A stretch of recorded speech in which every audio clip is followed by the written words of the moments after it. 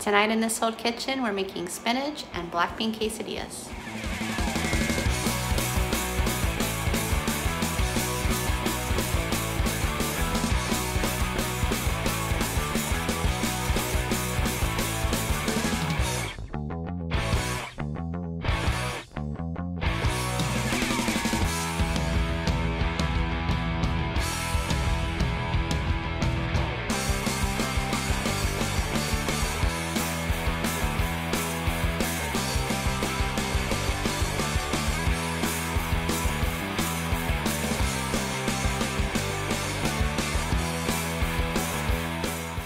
horrible flip